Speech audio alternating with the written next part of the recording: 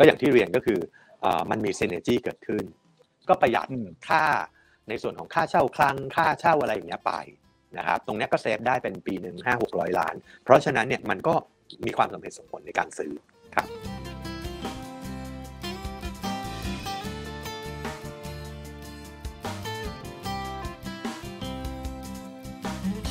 การที่บางจากเตรียมจะซื้อเอสโซเนี่ย มันดีต่อบางจากจริง ๆ หรือเปล่า มันดีตรงไหน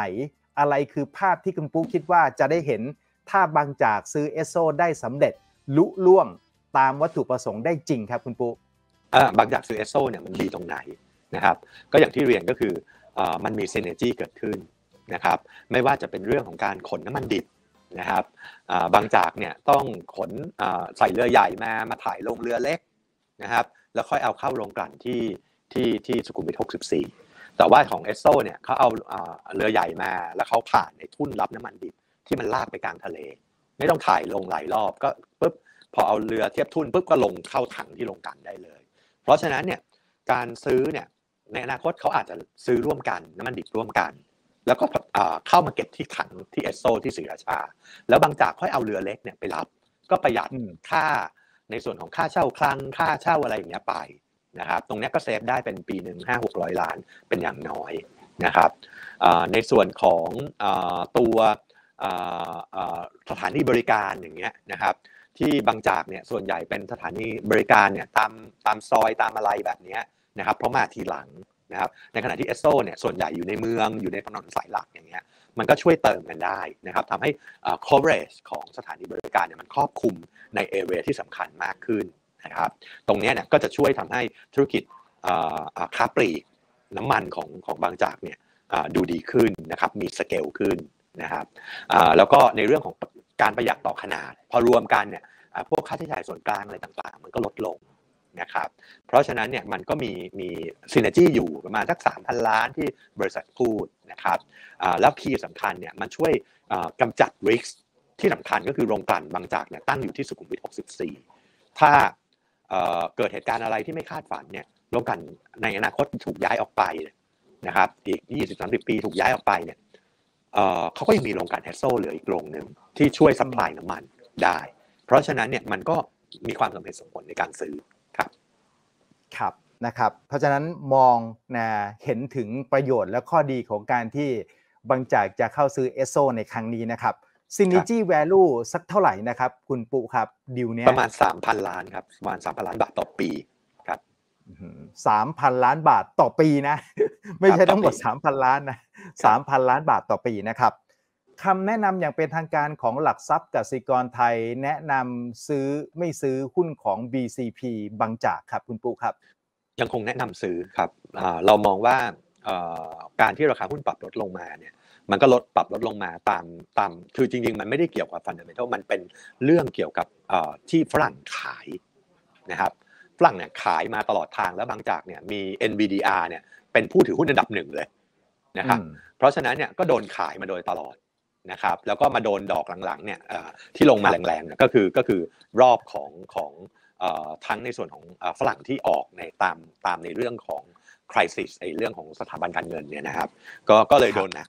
ซื้อตอนนี้เหมือนกับราคาบางจากเพียวๆ ไม่มีเอสโซผสมนะครับก็ก็ดูแล้วก็ risk return คุ้มค่าครับครับ แนะนำซื้อบางจากเป้าพื้นฐานปลายปีหลักทรัพย์กสิกรไทยให้บางจากไว้เท่าไหร่ครับอ่า42.5 ครับ 42 บาท 50 สตังค์นะครับ คุณปุ๊ครับ ใช่ครับ รวมเอสโซไปแล้วด้วยครับครับรวมเอสโซไปแล้วนะครับ รวมดีลว่าซื้อเอสโซสำเร็จนะครับ ใช่ใช่ครับ มาเป้าปลายปี 42 บาท 50 เอ๊ และดีลบางจากซื้อเอสโซคาดว่าจะจบสักเมื่อไหร่ครับ คุณปูครับล่าสุดเนี่ยเท่าที่พูดคุยเนี่ยก็คือน่าจะอยู่ประมาณสักประมาณไตรมาสสามนะครับไตรมาสสามตอนเนี้ยตัวเขาเรียกว่าเงื่อนไขกำหนดก่อนก่อนที่จะปิดดีลเนี่ยนะครับมีอยู่ด้วยกัน 3 ตัว ก็คือตัวแรกเนี่ยเป็นเรื่องของกระทรวงอุตสาหกรรมนะครับว่าโรงงานเอสโซเนี่ยมีสัญญาว่าจะขยายโรงกันกับกระทรวงอุตสาหกรรมไว้ ซึ่งตรงนี้เนี่ยเขาไปเช็คแล้วว่ามันไม่มีปัญหาในการเปลี่ยนผู้ถือหุ้นนะครับเพราะฉะนั้นเนี่ย CP ตัวแรกเนี่ยจบไปแล้ว CP ตัวที่2เนี่ยก็คือผู้ถือหุ้นบางจากอนุมัตินะครับในการประชุมผู้ถือหุ้นนะครับวันที่ประมาณสัก12 เมษายนมั้ง10 10กว่ากว่าเมษาผมจำไม่ได้อ่าซึ่งตรงเนี้ยผมคิดว่าไม่น่ามีปัญหา เพราะฉะนั้นเนี่ยเหลือตัวสุดท้ายก็คือเรื่องของ antitrust นะครับก็คือการผูกขาดนะครับอืมซึ่งซึ่งถ้าเราเห็นค่ายมือถือเหลือสองค่ายได้ ผมคิดว่า แบรนด์น้ำมันเหลืออสี่ค่ายห้าค่าย ผมว่าไม่มีไม่น่ามีปัญหาหรอกครับ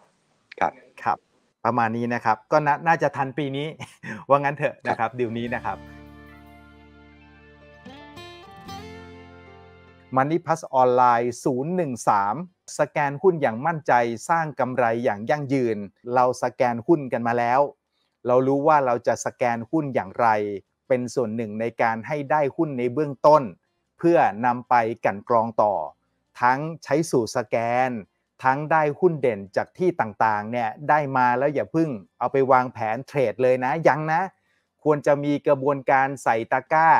ใส่ตะแกรงกันกรองอีกหลายขั้นเลย ผ่าน8ดานแล้วเอาไปวางแผนการเทรดได้เลยไหมไม่ครับยังครับ เอามากรองอีกขั้นหนึ่งด้วยกระบวนการ back test จาก indicator เสร็จแล้วนะครับ นะมาดูครับ เพราะว่าการ screening เนี่ยมันมี scoring ด้วย ได้หุ้นมาเป็นปึกเลย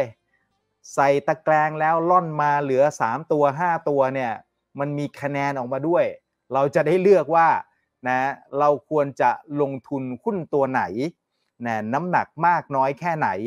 นะจำนวนเงินจำกัดก็ไม่ต้องลงทุกตัว ดูคะแนนที่อันดับ 1 อันดับ 2 หรือถ้ามีตังเราก็อาจจะ เวทน้ำหนักในการลงตามสกอร์ลิงที่ได้หลังจากผ่านขั้นตอนในการสกรีนก็ได้นะหรือพอได้คะแนนเรียบร้อยแล้วเข้าสู่กระบวนการ back test แล้วค่อยไปสู่กระบวนการสุดท้าย คือการวางแผนการเทรด เพื่อหาจุดซื้อจุดขายจุดคัดนะอันนั้นก็จะเป็นกระบวนการที่นะครบในเบื้องต้น ซึ่งเป็นระดับพื้นฐานก่อนที่จะ เข้าทำการเทรด หรือเข้าทำการลงทุนในหุ้นนะครับ ฉะนั้นทั้งสิทธิ์เก่าสิทธิ์ใหม่ประสงค์อยากจะเรียนย้อนหลัง สามารถติดต่อโดยตรงผ่านทางแอดมินของเราง่าย ๆ ก็คือสแกน QR code หน้าจอนี่แหละครับ ง่ายที่สุดนะครับสแกน QR code หน้าจอนะครับอันนี้ง่ายสุดเลยนะง่ายสุดเลย หรือว่าติดต่อโดยตรงผ่านทางนะไลน์ครับนะพิมพ์สัญลักษณ์ตัว A S I แล้วตามด้วยคำว่า Money Plus M O N E Y P L U S Money Plus ติดกันตรงตัวนะครับ สนใจก็สามารถที่จะติดต่อโดยตรงนะกับทางทีมแอดมินได้เลยนะครับ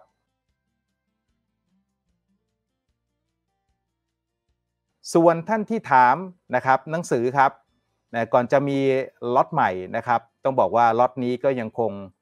น่าสนใจนะครับนะสำหรับ นะโปร 16 นะครับ ขออนุญาตแนะนำโปรเดียวครับ ถ้าท่านยังไม่มีทั้ง 3 เล่ม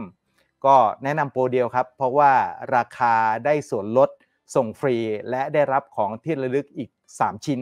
จากทางสำนักพิมพ์ Think Beyond ด้วย เจาะลึกเข้าใจง่ายจัดเต็มสายเทคนิค Candlestick Charting เล่มซ้าย เล่มกลาง Chart Pattern และเล่มขวา e l i o t Wave Trading นะครับนะสนใจเชิญนะครับ สั่งซื้อหนังสือดีจากสำนักพิมพ์ Think Beyond ผ่านทาง Money Plus Special ของเราได้นะสแกน QR Code เมื่อสักครู่นี้นะครับแล้วก็ติดต่อโดยตรงกับทางแอดมินได้เลยนะครับ